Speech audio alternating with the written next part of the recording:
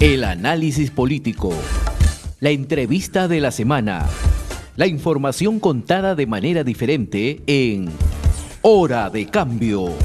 Desde estos momentos nos conectamos con el Perú en Hora de Cambio. Si quieres estar bien informado, quédate en Hora de Cambio. Imparcialidad, objetividad al momento de darte las noticias con Hora de Cambio. Bienvenidos.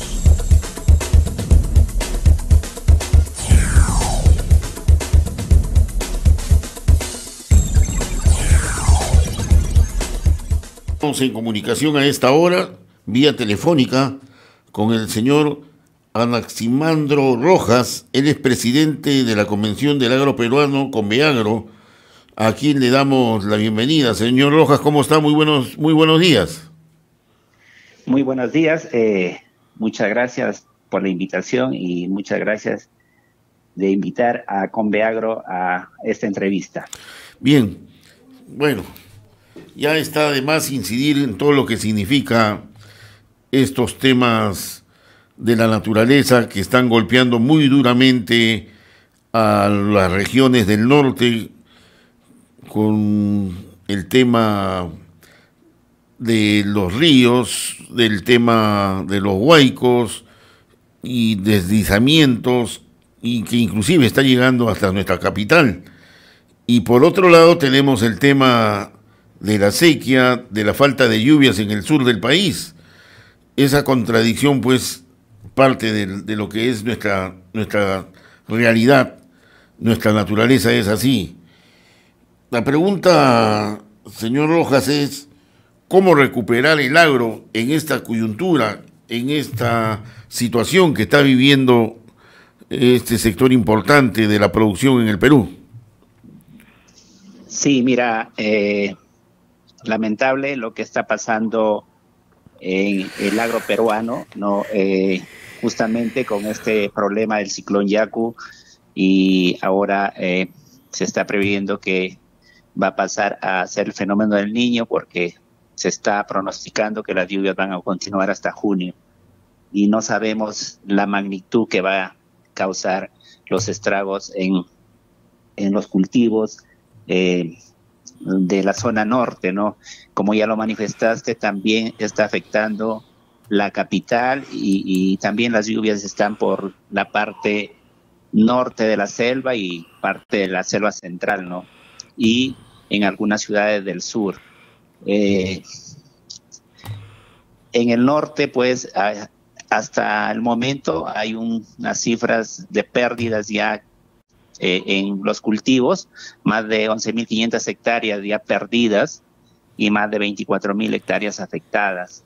Eh, esto, esto en productos, por ejemplo, como en el arroz, en algodón y los productos de tallo bajo, ¿no? Como tenemos las menestras o productos de pan llevar, que ya eh, no se van a poder recuperar porque ya han sido inundados y no hay cómo de poder desaguar estos estas chacras o estos terrenos, ¿no?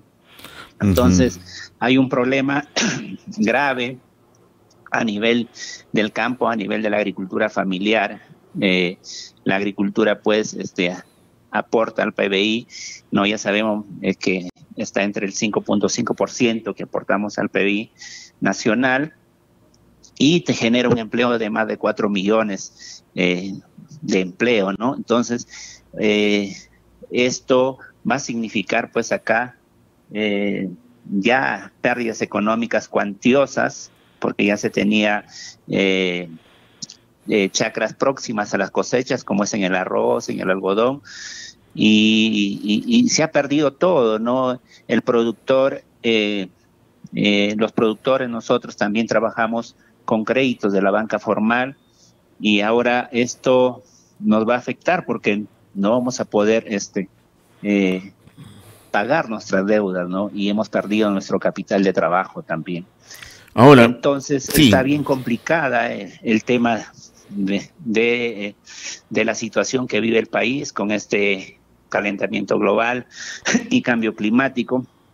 Esto, el Perú es muy vulnerable a, al cambio climático, pero eh, aquí también este, nuestras autoridades, bueno, eh, no han hecho una buena planificación que ya esto se venía a venir, ¿no? Entonces, eh, creo que en el 2017 no, no hemos aprendido nada del fenómeno del niño del 2017 y si se entregaron recursos para poder invertir en, en, en descolmataciones o, canalizaciones o, o, este, defensas ribereñas, pero ahora lo vemos que esto se ha perdido todo, ¿no? Entonces, eh, eh, el Estado, pues, este, creo que no ha ejecutado bien también o no ha habido un control de la ejecución de estos de estos proyectos y cada y cada año nos estamos lamentando de esto, ¿no? Entonces, el sector el sector agrario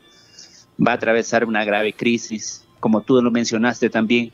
El sur salía de una sequía que fue en octubre y noviembre fue caótica porque se perdió eh, cultivos, eh, se perdieron ganados, eh, ganado vacuno y, y, ganado de camélido sudamericano, se murieron muchos. Entonces, igual no se sembró, no se ha sembrado área, no, se, no se ha sembrado área y ahorita está peligrando la seguridad alimentaria. Señor Rojas, país, ¿no? dígame, eh, pero ¿qué es lo que pasa acá en el Perú con el agro peruano, teniendo en consideración de que eh, se está repitiendo la historia, se está repitiendo los mismos fenómenos ahora con más densidad, con más fuerza, y durante todo el periodo del señor Pedro Castillo, el tema era la uria que no va a haber alimentos por el tema de la uria, hasta que el, hasta el final toda la gente se olvidó de la uria y estamos ahora ante una zona, ante una situación de repente más peligrosa, porque acá se ha arrasado cultivos, se ha destrozado la producción tanto de Piura, Chiclayo, Tumbes, etcétera, y lógicamente que esto va a afectar eh, la economía nacional. Y ¿Qué se vislumbra a corto, a corto plazo frente a esta situación? Sí, mira, eh, yo creo que aquí el gobierno tiene, eh, tiene que reorientar, por ejemplo, este programa de punche agrario, ¿no? Se tiene que dirigir mayormente al norte, eh, de poder apoyar a nuestros, a nuestros productores eh, de poder generar pues este fuente de trabajo en el tema de, de, recuperar los, los canales, este, descolmatación de los canales, eh, también este, como tú lo mencionaste, eh, ya se ha perdido también kilómetros de las vías, ¿no? Entonces, yo creo que este problema no es, no es de hoy, ya este problema viene ya de décadas y hay que también las autoridades eh, de ayer y de hoy este, no han hecho bien su trabajo eh, eh, y bueno, se tuvo la esperanza de esta segunda reforma agraria, pero no estuvo bien planificada, no, hubo presupuesto y creo que se ofreció mucho no este al agro y esto también conllevó a yo creo que a, la pérdida de las esperanzas de, es, de la agricultura que se pueda tecnificar mucho mejor, ¿no? Entonces, este, yo creo que Castillo no es el culpable de todo esto, ¿no? Eh, claro que en su gobierno no se pudo comprar el fertilizante, pero el fertilizante no era la solución a todo el problema del agro, ¿no? Porque todos los productos mayormente esto era para el tema del arrocero, del productor de maíz, que, que lo necesita más, en más intensidad el, tema de la uria, ¿no?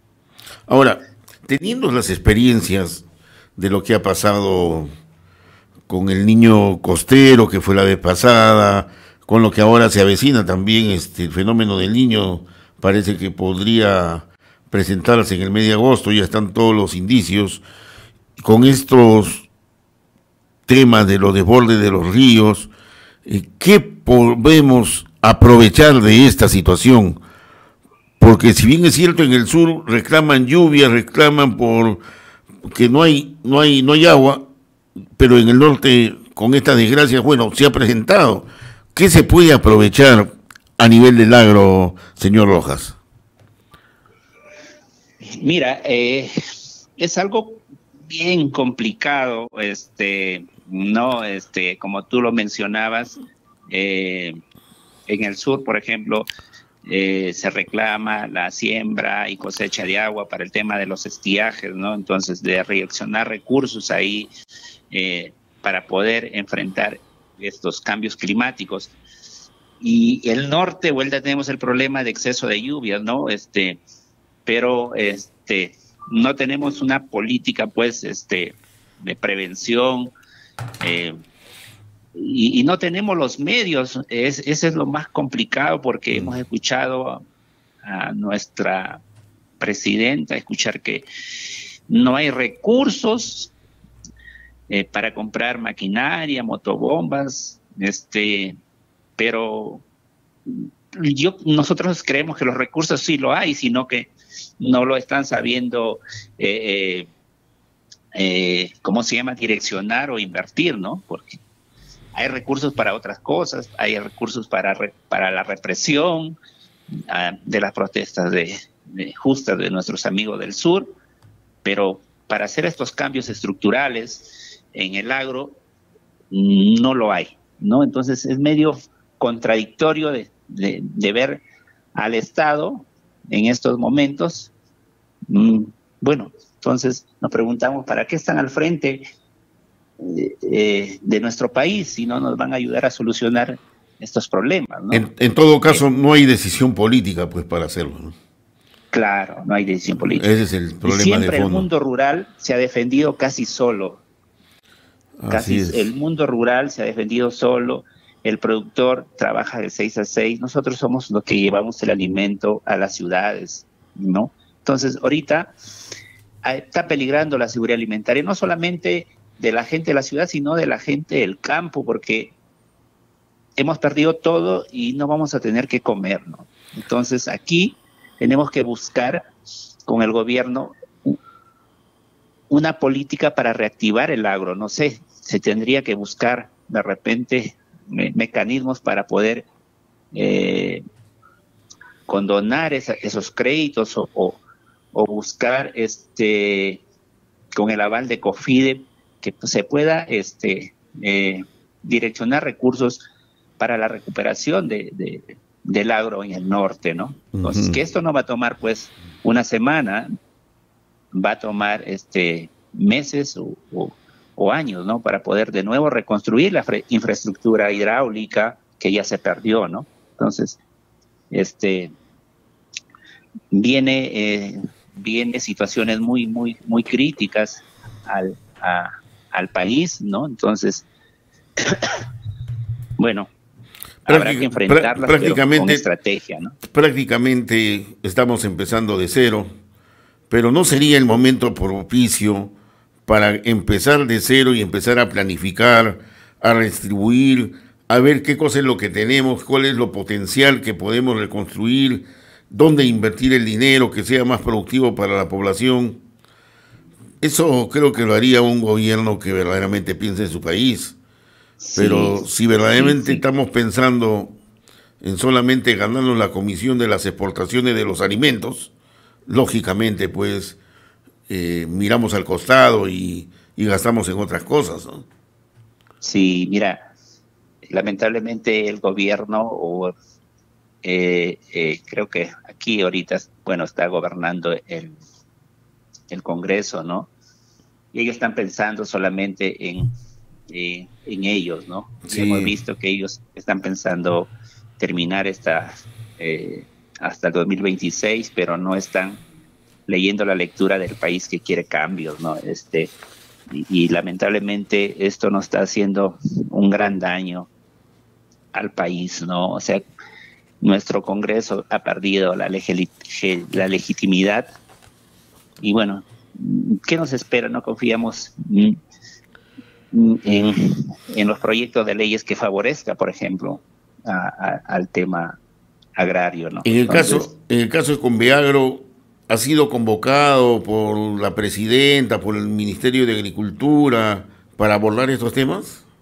Mira, hasta el momento no nos hemos sentado con, con ni con la ministra ni con la presidenta para abordar la, la agenda política o la agenda agraria no eh, del país no no no hemos sido convocados no eh, pues, eh, ellos han estado abocados a otra a, otros temas como ya tú los conoces este el tema de la represión y todo eso y cómo y cómo mantenerse en el poder hasta hasta el 2026 yo creo que ellos están solamente pensando en ellos y no en el bienestar de todo el país. Hoy día, en hora de la mañana, la verdad que me ha dado vergüenza ajena ver a la presidenta Dina Boluarte, que ha convocado a una cruzada nacional para reconstruir al Perú, denominado esta campaña Compunche Perú Solidario, actuemos juntos, han participado empresarios, los gobiernos regionales, etcétera, etcétera, etcétera. Pero no estamos para la foto en estos momentos. La gente no tiene agua, no tiene dónde vivir, no tiene un techo. La gente verdaderamente ha perdido todo. Todo en el norte del país. La cosa es dramática. Y hasta que no pase en Lima, bueno, no, no, no se va a reflexionar de la misma magnitud de la gente que lo ha perdido todo. ¿Por qué esta insensibilidad que está pasando en nuestro país? No hay tampoco el apoyo solidario que en otras desgracias, en otras circunstancias siempre estuvo presente, ¿no? Parecería que se ha perdido el espíritu solidario del pueblo peruano. Sí, este, tú lo, tú lo enfocas muy bien a esto, ¿no? Este, este, el, el pueblo peruano, como tú dices, eh, el gobierno igual con sus actitudes, que va al norte, mm, se pasean los ministros para la foto, pero no ves este llevando la ayuda humanitaria, ¿no? No hay, no hay, este, ayuda humanitaria, mínimo. Mínimo, ¿no? O sea, eh, más están para el, para la foto mediática, ¿no? Que van, van los, los, los ministros, se toman las fotos, pero eh, y, dan el discurso, pero el discurso es que no hay que no hay presupuesto, ¿no? Entonces yo creo que, hemos perdido las esperanzas de este de, este gobierno, ¿no? Eh, yo creo que el pueblo debe tomar conciencia y, y, y, castigarlo, pues estos malos políticos, ¿no? Este, y, esto nos va a permitir a la reflexión que, que mañana más tarde también eh, aprendamos a votar y elegir a nuestras buenas autoridades realmente que nos representen bien y que quieran trabajar por el país. Finalmente, finalmente, ¿se justifica el incremento de algunos alimentos de primera necesidad, como el caso del limón, como el caso del arroz, se anuncia que posiblemente empiece a escasear en los próximos días, o esto se trata simplemente de algo que está sucediendo para encarecer los precios de estos alimentos. No, este es verdad.